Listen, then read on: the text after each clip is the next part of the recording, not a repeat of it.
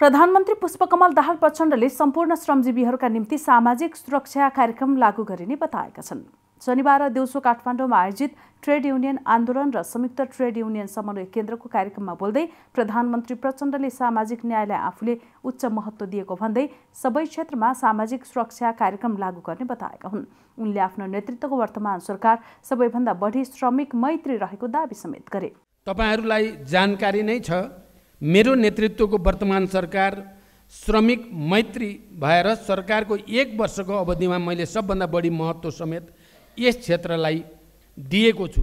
प्रधानमन्त्री प्रचण्डले आफ्नो नेतृत्वको सरकारले स्वदेश स्वदेश तथा विदेशमा रहेका श्रमिकहरू एवं अनौपचारिक क्षेत्रका श्रमिकहरूका निम्ति समेत निकै महत्त्वका साथ योगदानमा आधारित सामाजिक सुरक्षा कार्यक्रम लागू गरिसकेको जानकारी दिए।